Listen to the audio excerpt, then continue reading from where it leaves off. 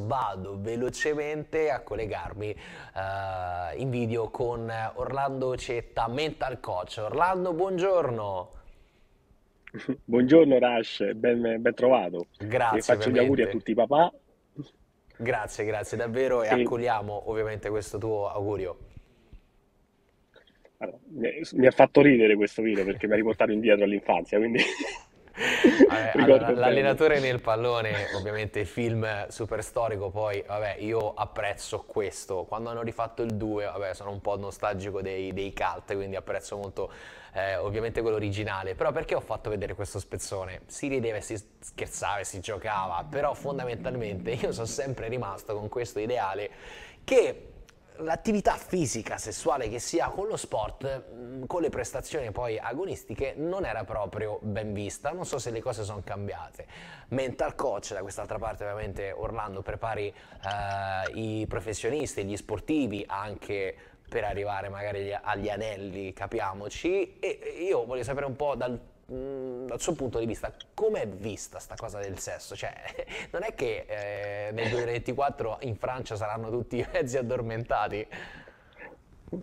No, allora, il fatto del sesso che poteva debilitare, poteva inficiare sulle prestazioni sportive era una convinzione di tanti anni fa.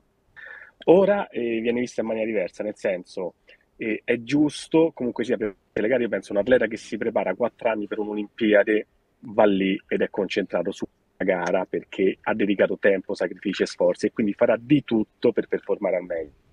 Dopodiché, per performare al meglio, anche un po' tempo, qualche giorno prima, ha bisogno di, anziché essere stressato o essere ansioso, se ha la sua compagna, ha bisogno di intimità per produrre una serie di ormoni tipo dopamina, serotonina, cose che lo rendono felici, piuttosto che lo stress, cortisolo, che lo vanno a debilitare ancora di più, è soggettivo, è totalmente soggettivo. C'è okay. chi l'ansia invece lo aiuta a produrre quella serie di adrenalina che a lui serve, c'è chi invece lo manda in stress, produce cortisolo. Noi siamo biochimica in fondo, quindi certo. dipende che sostanze, che sostanze produrre. Certo, quindi in questo caso è, invece... visto, è visto in questo modo, nel senso, a parte che, come diceva, è una cosa soggettiva, quindi ci può stare che magari uno ha bisogno perché si conosce, ha bisogno di eh, poter levare questo stress magari 24 ore prima della gara, chi 48, chi per niente, perché eh, comunque no, 4 anni per prepararsi ad un'Olimpiade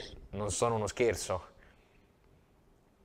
No, oltre che non sono uno scherzo, per arrivare a, quella, a quell'evento, evento, perché l'Olimpiade ricordiamo è l'evento per ogni sportivo, è la massima espressione sportiva. E ogni persona, ogni atleta ha rinunciato a tanto fino al momento per arrivare lì. Quindi io sono sicuro che in quelle settimane che precedono questo faranno ogni cosa possibile per performare al meglio. Quello è il loro sogno, il sogno di tutti. Cioè, e poi immaginiamo solo rinunciare a un qualcosa per quattro anni, gli costa quanto gli può costare rinunciare per una settimana. Vero se per loro non è, non è produttivo. Se è produttivo, invece lo devono sfruttare proprio per togliere quella tensione che altrimenti rischiano di arrivare troppo, anche troppo tesi il giorno della gara e rischiano di non performare. È, ripeto, è soggettivo ed è ognuno deve conoscere bene il proprio corpo, come dici te, deve conoscere bene le proprie abitudini, le proprie sensazioni e su quello c'è tutto un lavoro che hanno già fatto da quattro anni, quindi non è... Okay, Scopriamo quindi... oggi quello che dobbiamo fare.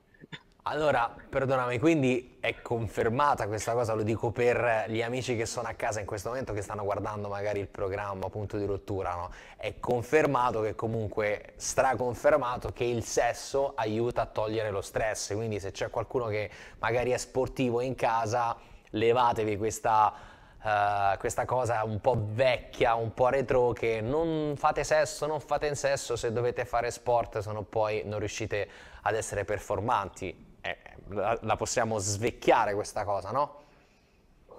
Diciamo lo fai dieci minuti prima della gara è un conto, se lo fai due giorni prima, 48 ore prima, insomma è una...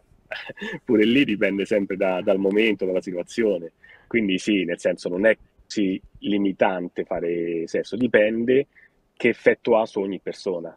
Perché c'è chi lo può distogliere da quello che deve fare, c'è chi invece è un potenziante, è un aiuto per proprio performare al meglio poi proprio nel momento antecedente all'evento, grande evento. Comunque è curiosa questa cosa che la Francia in queste Olimpiadi ha deciso no, di, di, dare questi due preservativi al giorno a, agli atleti. Allora è un gesto secondo me molto di immagine, nel senso comunque ripeto, anni fa, 2021 Tokyo, eravamo sotto Covid, un casino, vabbè, eh, non sto qui a ripetermi, però secondo me è più un gesto uh, di, so, di, di, di, mandare un messaggio un po' verso magari la protezione, perché secondo me loro già sanno che gli sportivi a quel livello, secondo me, magari me lo confermi, a livello mentale sono molto più avanzati, cioè sanno gestirsi benissimo, non si fanno distrarre magari dal, da noi che siamo magari un po' più ragazzetti, no? ci potremmo far distrarre. A quel livello penso che sei così concentrato che credo che sia più un discorso di immagine, di messaggio magari da mandare al mondo, quello che ha, eh, hanno scelto di fare alle Olimpiadi 2 2024 in Francia, Orlando. Sì, il fatto de- della prevenzione, dell'attenzione, della prevenzione penso che sia un messaggio fondamentale che vogliano mandare, quello, e fa bene secondo me, visto tutto Chiaro. Cioè si parla di tutto, ma sembra che certe cose sono come passate nel dimenticatoio, che non esistano più. Era un periodo dove su, se, se ne faceva una battaglia mediatica sul, sul prevenzione, soprattutto nelle, negli anticoncezionali, come usarli e il perché usarli.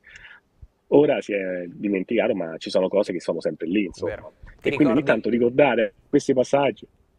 Ricordi la pubblicità? Vai. Di chi è questo? Ricordi la pubblicità? Sì.